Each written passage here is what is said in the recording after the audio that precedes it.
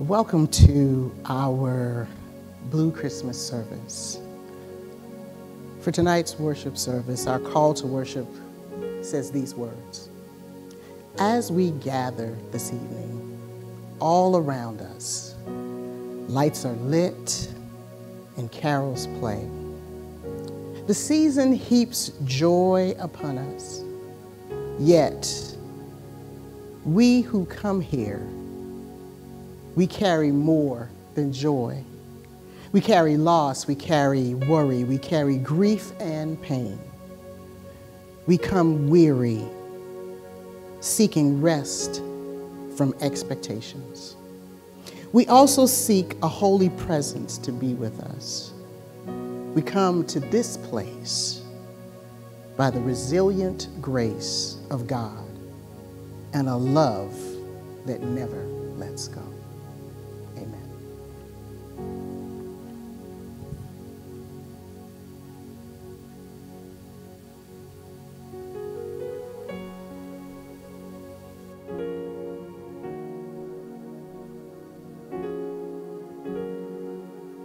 Let us pray.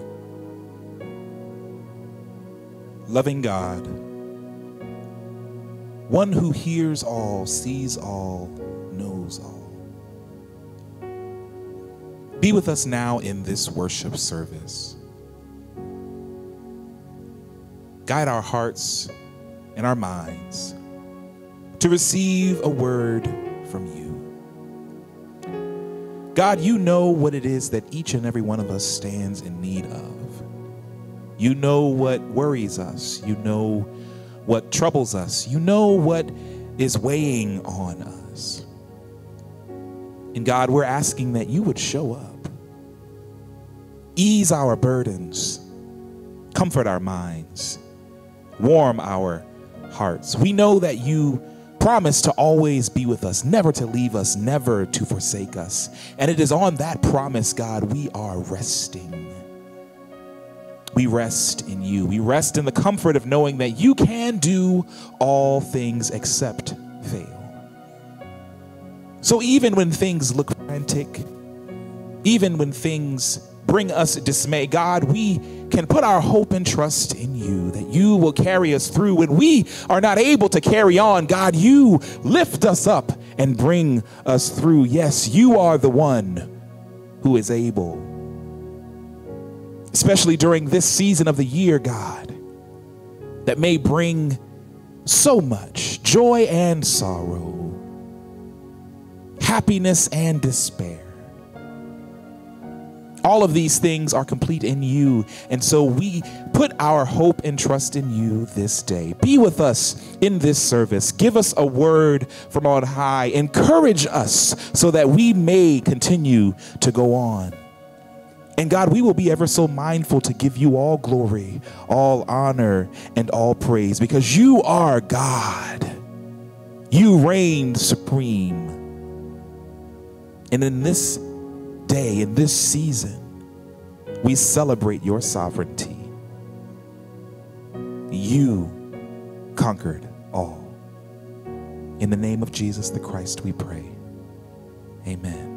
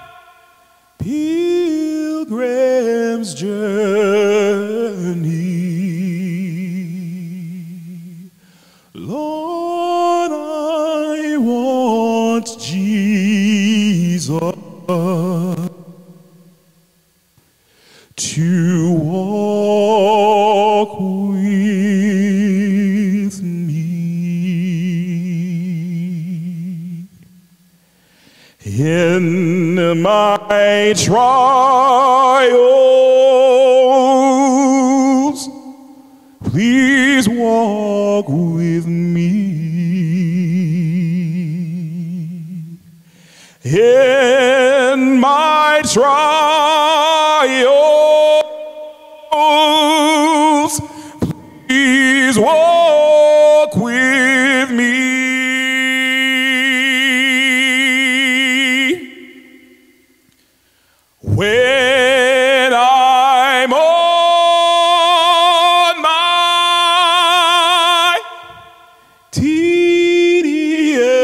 tedious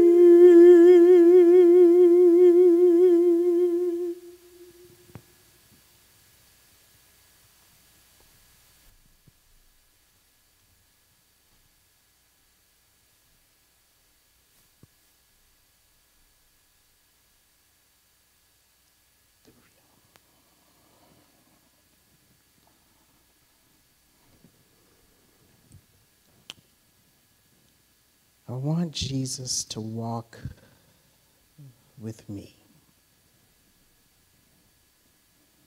Thank you, God. For a few minutes, I want to talk just a little bit coming from Psalm 147, verse 3, where it says these words He heals the brokenhearted and binds up their wounds. He heals the brokenhearted and binds up their wounds. So, for our subject today, the Lord just says, I know you're not okay, and it's okay. I'm not okay, and it's okay. This Blue Christmas hits differently than a year ago for me in particular. Last year, I was lamenting that we had to put my mom in the nursing facility in November, right before Thanksgiving. And the realization was that my father was going to be alone for the first time in almost 60 years. I was not okay.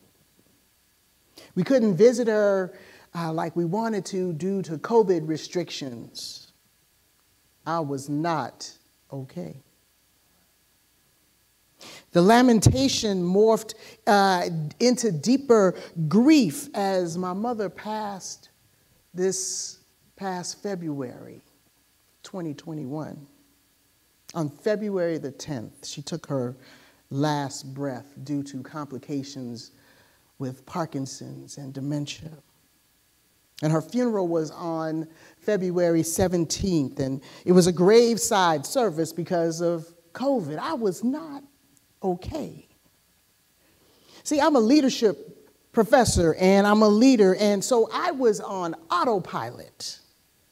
I needed to do what needed to be done to make sure that my 90 year old father did not have to deal with the business of death. I was not okay.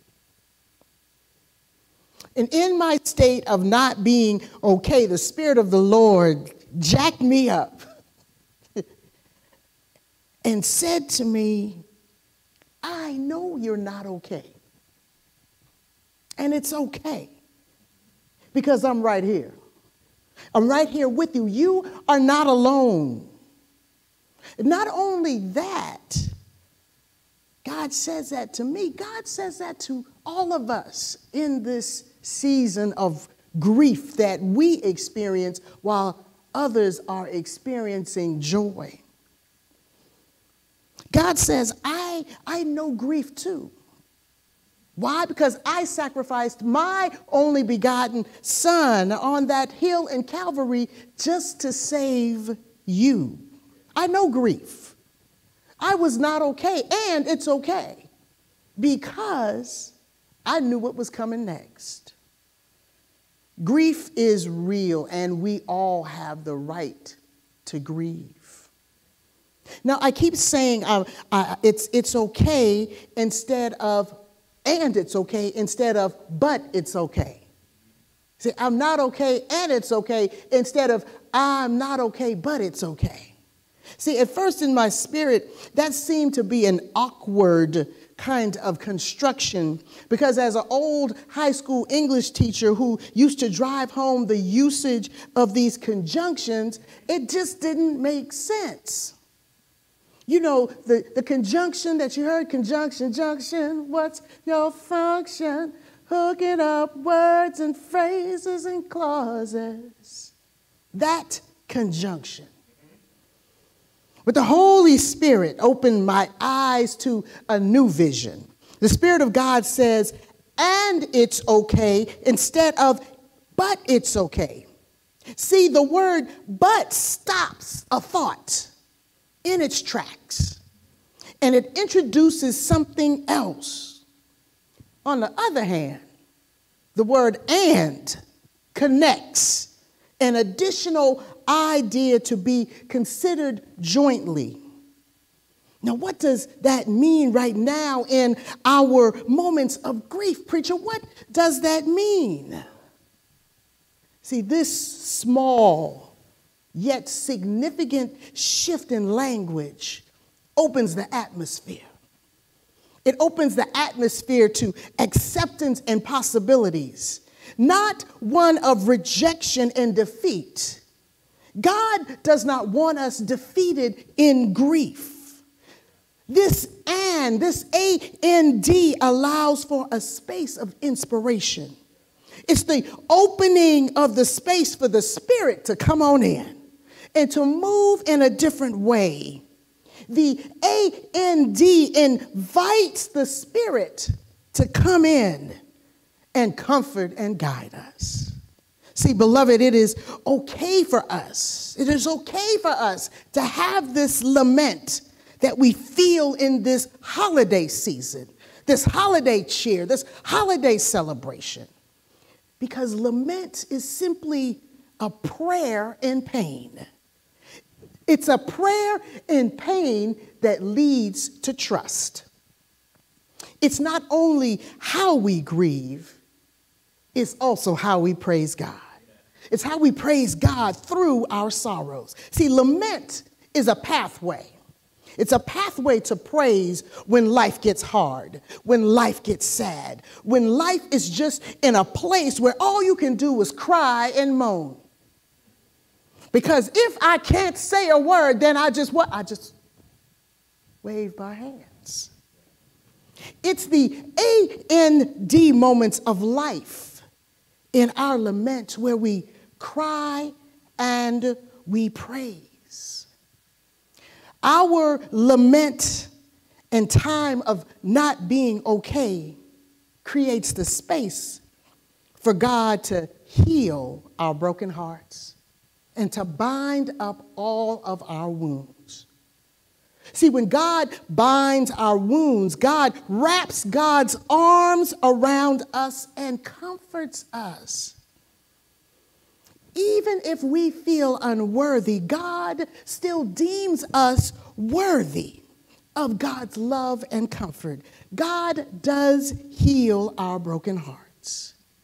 Be it if we lost someone we love to death, to divorce, whether it's a loss of a job, loss of an opportunity, a friendship,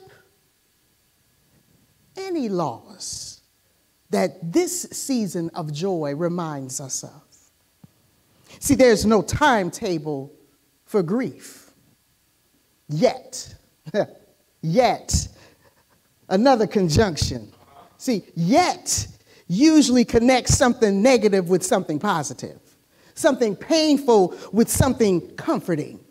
See, yet often brings together in one thought, in one sentence, both the dark clouds and the silver lining.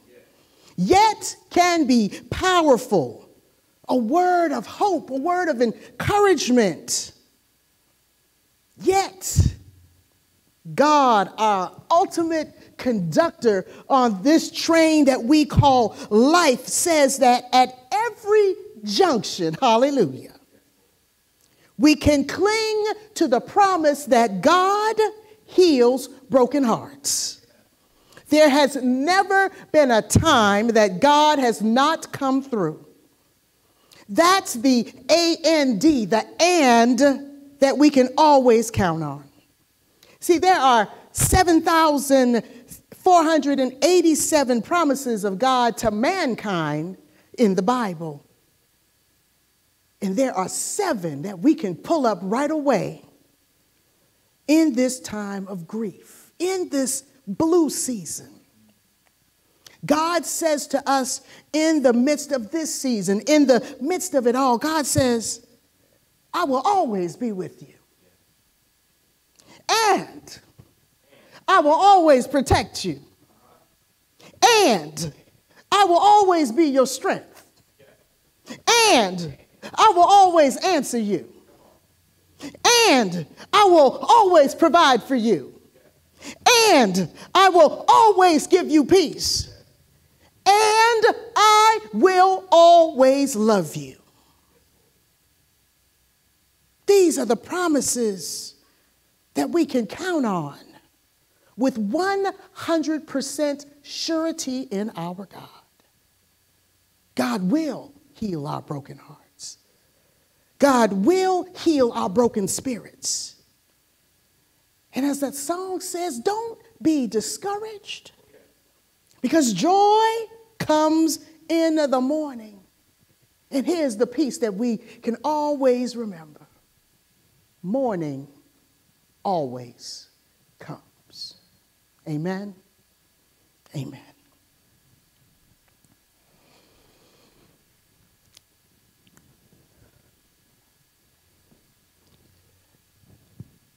As we gather this night to remember those who have touched our lives, glad memories and happy stories and love that we hold very dear. We can name those who have been life itself for us. We gather in the name of Jesus, vulnerable as an infant, joyful and happy as youth, wise and caring as adults. We gather in the presence of God who brings life and light to all. All life is precious in God's sight. All life is precious in God's sight. No one is ever alone or forgotten. In remembrance, tonight we will light four candles in honor of our loved ones. We light one for grief, one for courage, one for memories, and one for love.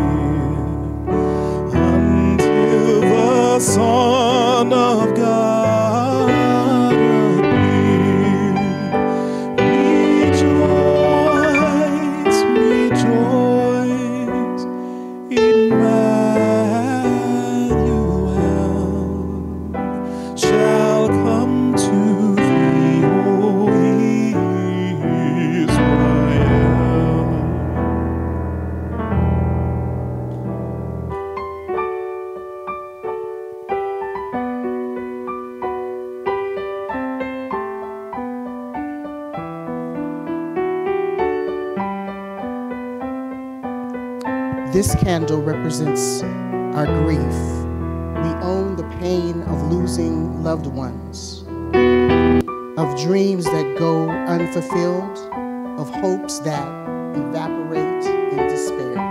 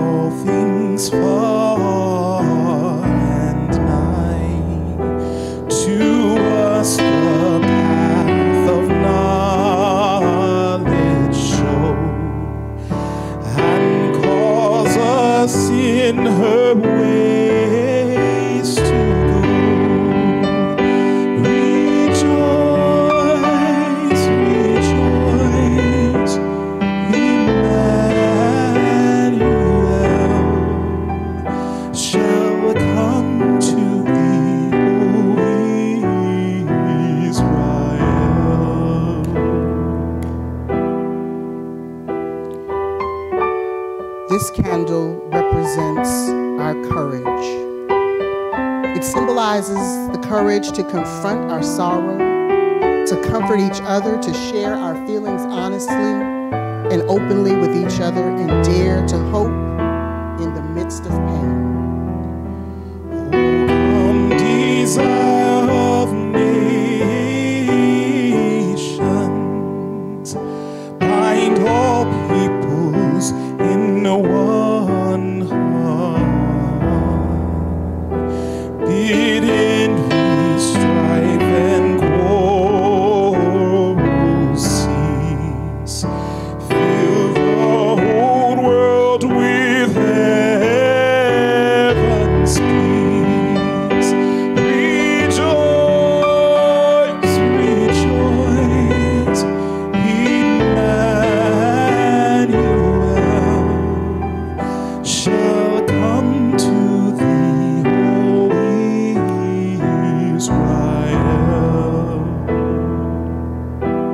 This candle represents memories for the times we laughed together, cried together, were angry with each other, or overjoyed with each other. We light this candle for the memories of caring and joy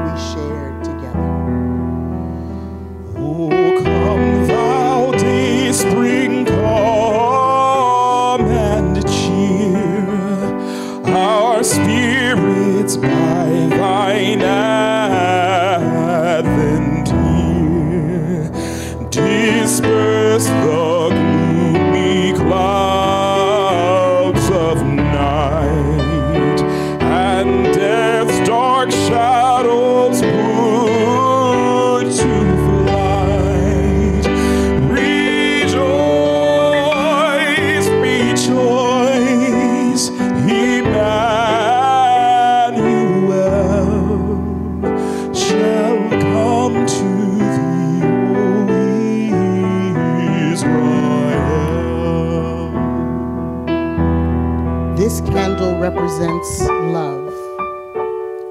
The love we have given, the love we have received, the love that has gone unacknowledged and unfelt, and the love that has shared, been shared in times of joy and sorrow. Oh, come, oh, come,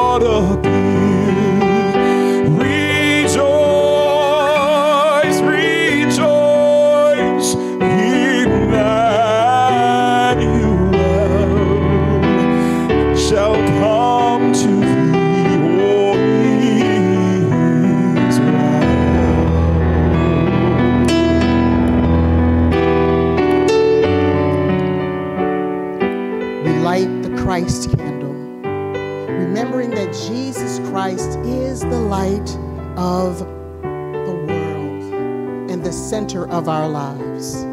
Jesus hears our cries, Jesus knows our hearts, and in the midst of it all, our thoughts and emotions, Jesus offers us hope and Jesus offers us healing.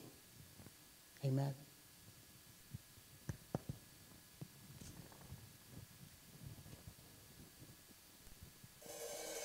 Don't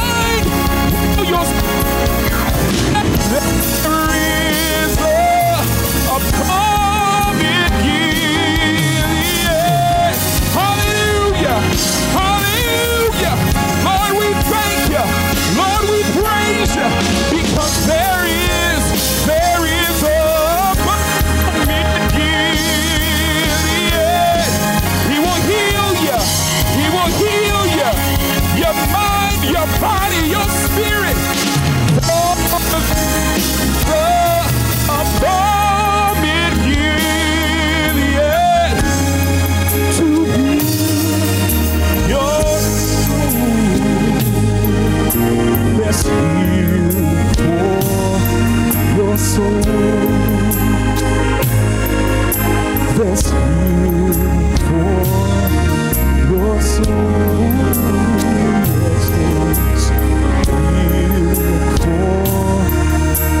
When you at night, he hears. Knows every worry you have, every trouble, every burden. He knows he'll heal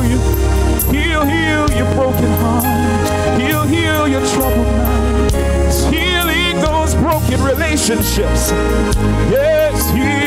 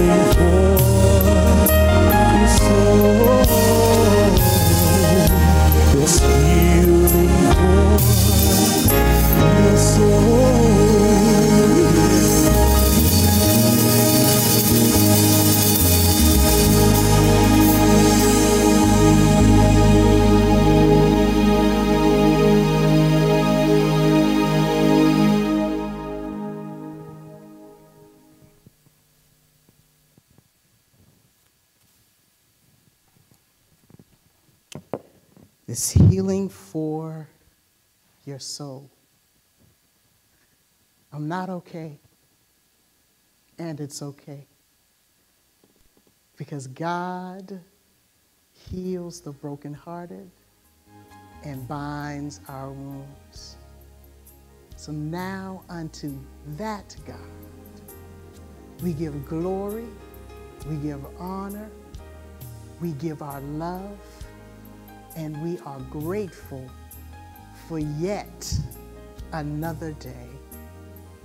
Thank you, God. In the matchless and holy name of your Son, our Savior, Jesus the Christ. Amen. Go in peace.